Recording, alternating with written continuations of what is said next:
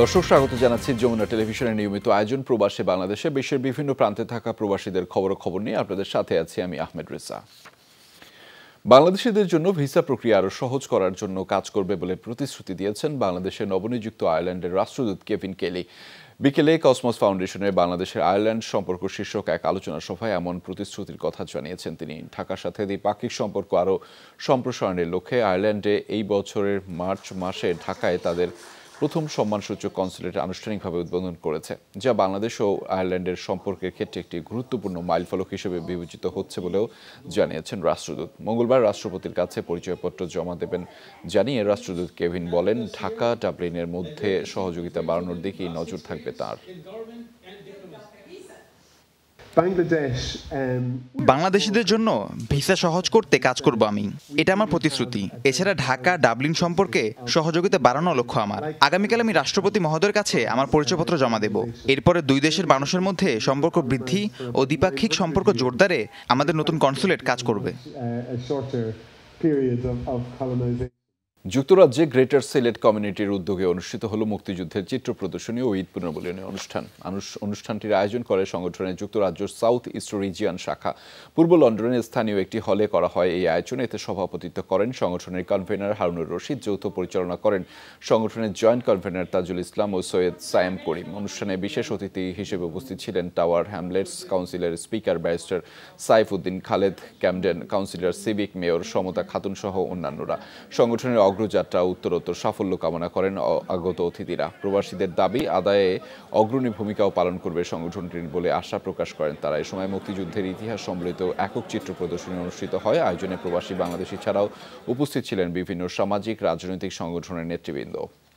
Bangladesh business forum বাহরাইনের উদ্যোগে বাহরাইনে অনুষ্ঠিত হল শোক সভা। সংগঠনের সাংগঠনিক সম্পাদক আক্তারুজ্জামান সরকারের মা ও সদস্য ইব্রাহিমের বাবার মৃত্যু উপলক্ষে করা হয় এই আয়োজন। শনিবার স্থায়ী সময় রাতে সংগঠনের কার্যালয়ে অনুষ্ঠিত হয় সভাটি। সভায় প্রধান অতিথি ছিলেন বাংলাদেশ দূতাবাসের শ্রম সচিব মাহফুজ রহমান। এতে সভাপতিত্ব করেন সংগঠনের সভাপতি আইনুল হক। সভায় মৃতের আত্মার মাগফেরাত কামনা করে করা হয় মোনাজাত।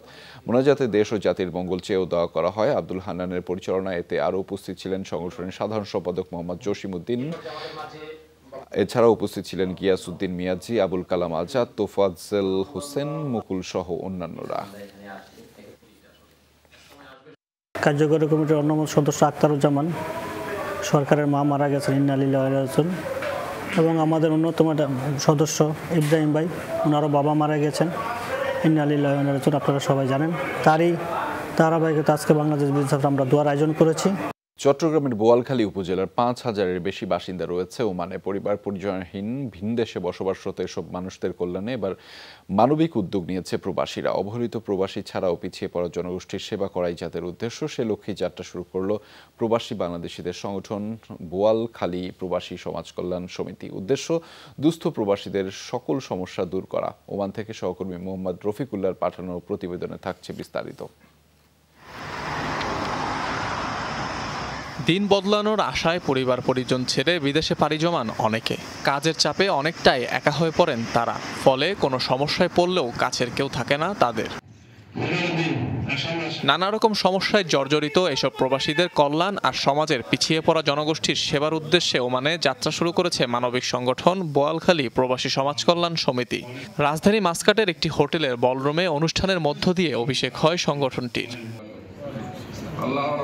অভিষেক অনুষ্ঠানে পরবর্তী দুই বছরের জন্য ঘোষণা করা হয় সংগঠনের বাহান্ন সদস্য বিশিষ্ট কার্যকরী কমিটি। এতে সভাপতি হিসেবে মনোনীত করা হয় নাসির উদ্দিনকে। সাধারণ সম্পাদক পদে মনোনীত হন অহিদুন নবী হোসেন।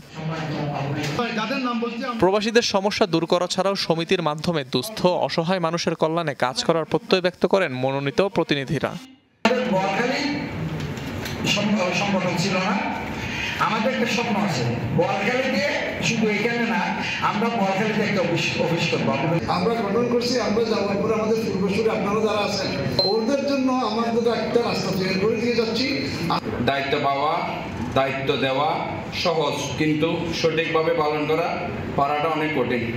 অবহেলিত অভিশপ্ত কালুগের ব্রিজ যার জন্য আমরা সবাই শহরের উপকণ্ঠে হয়েও আমরা হিসেবে অনেক পিছনে আমরা শুধু তাই নয়, দাবি জানানো হয় স্থানীয় এলাকার উন্নয়নেরও। আত্মমানবতার সেবায় সবসময় এগিয়ে থাকবে সংগঠনটি, দাবি বক্তাদের।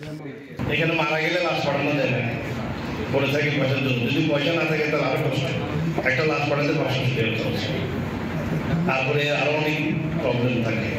আমি সবাইকে অনুরোধ করব, সবাই যেন আমাদেরকে সহযোগিতা করেন। এই গ্রুপে যারা আছেন সবাইকে। আমাদের চট্টগ্রাম শহর থেকে অথচ আমরা বারো কিলো সর্বমোট বারো কিলোমিটার দূরত্ব চট্টগ্রাম শহর থেকে। আমরা এখানে আজকে আসলাম কালকে সংগঠনকে ভুলে গেলাম। এটা কিন্তু সমীচীন হবে না। বর্তমানে দেশটিতে চট্টগ্রামের বলখালী উপজেলার পাঁচ হাজারেরও বেশি মানুষ বাস করছেন। অনিক রহমান যমুনা নিউজ।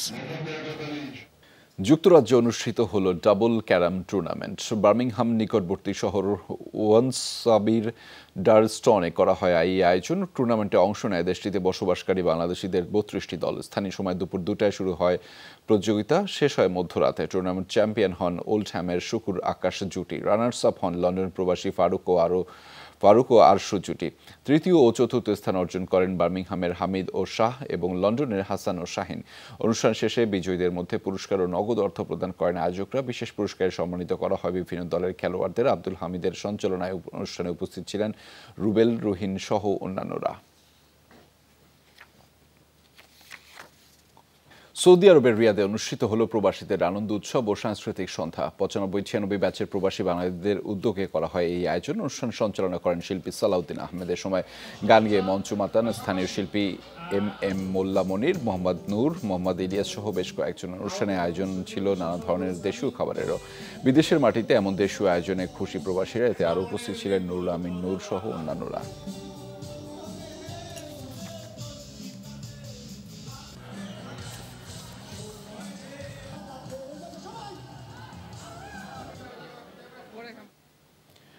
গোপনে কাটাতারের বেড়া পার হয়ে কিংবা সীমান্তরক্ষীদের সাথে লড়াই ধস্তাধস্ত করেই হোক, যে কোনো মূল্যে প্রবেশ করতে হবে স্বপ্নের আমেরিকায়। যুক্তরাষ্ট্র, মেক্সিকো সীমান্তে এমনই মরিয়া অভিবাসন প্রত্যাশীরা। ছোট ছোট সন্তান নিয়েই বিশাল সীমান্ত এলাকায় এ প্রান্ত থেকে ও প্রান্তে ছুটছে একটুখানি সুযোগের সন্ধানে। তাদের ঠেকাতে হিমশিম দশা মার্কিন বর্ডার গার্ড সদস্যদের। কোনো মতে কাটাতারের বেড়া পার হয়ে নামার অপেক্ষা। ওপারেই আছে স্বপ্নের আমেরিকা। যুক্তরাষ্ট্রের প্রবেশে মরিয়া মানুষগুলোর বেপরোয়া চেষ্টার নজির মিলছে এই দৃশ্যে। Texas department of public safety DPS প্রকাশ করেছে এরিয়াল ফুটেজটি যেখানে দেখা যাচ্ছে কাটাতার পেরিয়ে সীমান্ত পাড়ি দিতে চাইছে একদল অভিবাসন প্রত্যাশী। মধ্য আমেরিকার বিভিন্ন দেশ থেকে মেক্সিকো সীমান্তে জড়ো হয়েছেন তারা। নিউ মেক্সিকোর সান্টা টেরেসার কাছাকাছি স্থানটি থেকে চলছে টেক্সাসে প্রবেশের চেষ্টা।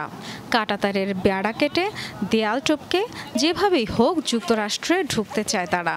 এভাবে ঢুকতে গিয়ে আহতও হচ্ছেন অনেকে। দলটিকে দেখে ছুটে গেল যুক্তরাষ্ট্রের বর্ডার গার্ডস সদস্যরা। তাদের সাথে ধস্তাধস্তি, মই নিয়ে টানাটানি, বাদ যায়নি কিছুই।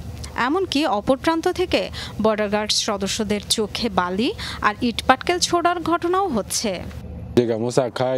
আমরা বাচ্চাদের নিয়ে এখানে এসেছি। এরপরও তারা হামলা করেছে টিয়ার গ্যাস ছুঁড়েছে। এ পর্যন্ত আসতে বহু কষ্ট করতে হয়েছে। তবে সবচেয়ে কঠিন সময় এখন তারা আমাদের স্বপ্ন পূরণে বাধা দিচ্ছে। যথেষ্ট হয়েছে। সবাইকে বলছি প্রেসিডেন্ট বাইডেনের কাছে যদি আমার কথা পৌঁছে দেয়া যায়। আমরা সংখ্যায় দেড়শো জনের কম। সন্তান সহ এই ধুধু এলাকায় আটকা পড়ে আছি। গত সাত মাসে কেবল এলপাসো ও আশপাশের এলাকা থেকে আটক করা হয়েছে প্রায় এক লাখ উনচল্লিশ হাজার অভিবাসন প্রত্যাশীকে। হাতে নাতে আটক, পিপার স্প্রে কিংবা টিয়ার গ্যাস, কোনো কিছুতেই নিয়ন্ত্রণ করা যাচ্ছে না তাদের। এক এলাকায় বাধা পেয়ে সীমান্তের আরেক অংশে জড়ো হচ্ছে অভিবাসন প্রত্যাশীরা। তিজওয়ানা সান্টিয়াগো সহ নিত্য নতুন এলাকায় চলছে তাদের মিশন। সীমান্তের নিরাপত্তা নিশ্চিতে বাইডেন প্রশাসনকে ব্যর্থ আখ্যা দিয়ে তীব্র সমালোচনা করেছেন টেক্সাসের গভর্নর গ্রেগ অ্যাবট। ডরথিতাস্ট্রিন যমুনা নিউজ। দর্শক, এই ছিল প্রবাসী বাংলাদেশের আয়োজনে। এতক্ষণ সাথে থাকার জন্য সবাইকে ধন্যবাদ।